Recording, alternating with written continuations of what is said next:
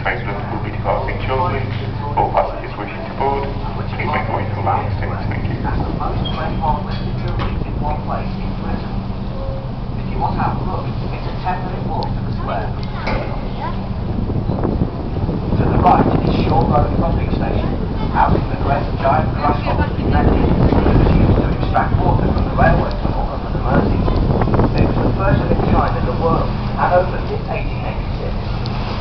Woodside Ferry Terminal is home to U-boat stories, where you can see the fascinating World War II German U-boat, U-534.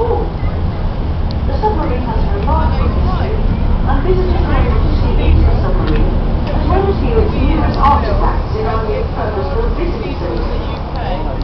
If you're leaving in Scotland, why not visit the Waterfront Cafe Home, where you can enjoy a range of light refreshments and walks